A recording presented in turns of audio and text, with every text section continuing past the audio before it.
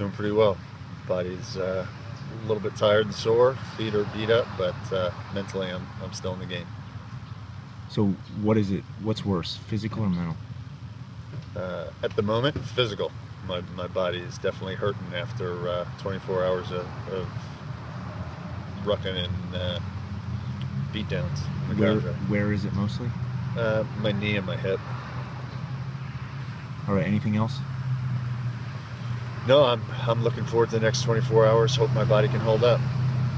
What's gonna What's gonna stop you, if anything? Um, I don't plan on anything stopping me. I got to push through the pain and uh, be at the index.